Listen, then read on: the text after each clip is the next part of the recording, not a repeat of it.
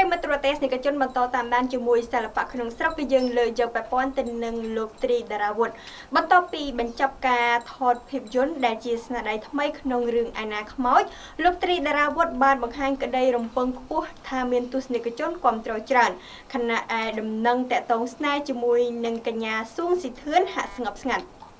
លោកត្រីតារាវុធត្រូវបានគេដឹងថាកំពុងមានទីផ្សារសិល្បៈខ្លាំងនាពេលបច្ចុប្បន្នខណៈភាពយន្តភាគច្រើនដែលលោកសម្ដែងគឺបានក្រុងតំណែងជាតួឯកជាបន្តបន្ទាប់លើសពីនេះដោយសារតែសមត្ថភាពផ្នែកសិល្បៈរួមផ្សំទាំងរូបសម្បត្តិពីធម្មជាតិផងនោះបានធ្វើឲ្យតារាប្រុសរូបនេះមមាញឹកខ្លាំងបើទោះបីជាលោកត្រូវបានគេដឹងថាជាតារាចំនួនក្រោយក៏ពិតមែន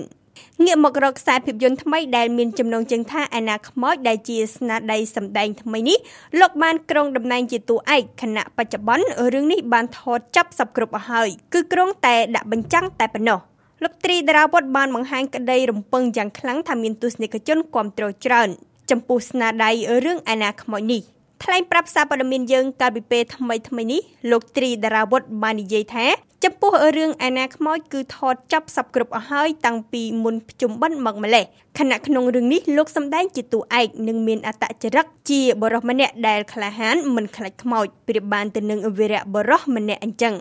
រឿងហ្នឹងថតចប់ហើយត្រឹមចប់មុនភ្ជុំណានិយាយរំទៅ តួ hero ហ្នឹងវាថាគិតថាខ្លួនឯងហ៊ានជាងគេអញ្ចឹងតឡាដើរបលាគេហើយអញ្ចឹងតែ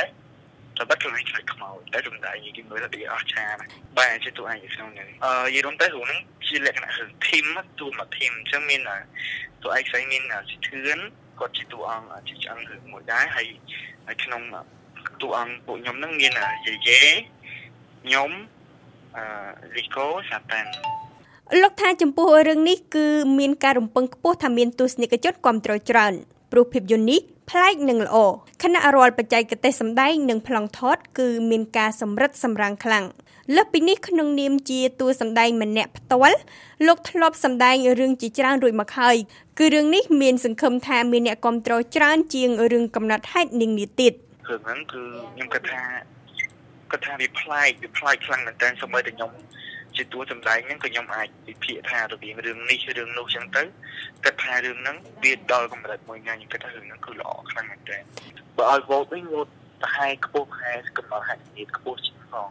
អញ្ចឹងណាមិញងាកមករឿងរ៉ាវស្នេហាវិញទស្សនិកជនភាគច្រើនធ្លាប់និយាយថាលោកត្រីតារាវុធមានទំនាក់ទំនងស្នេហ៍ជាមួយកញ្ញាស៊ុងស៊ីធឿនដែលជាតារាសម្ដែងដូចគ្នា ទោះបីជាអ្នកទាំងពីរធ្លាប់បានបដិសេធរួចមកហើយក្តីអ្វីដែលចាប់អារម្មណ៍ថ្មីថ្មីនេះកញ្ញាស៊ូងស៊ីធឿនបានថតរូបមួយសន្លឹកជាមួយនឹងបរិសម្នាក់យ៉ាងស្និទ្ធស្នាលប្រៀបបានទៅនឹងគូស្នេហ៍ថ្មីថ្មោងដោយលោកត្រីតារាវុធផ្ទាល់បាននិយាយថា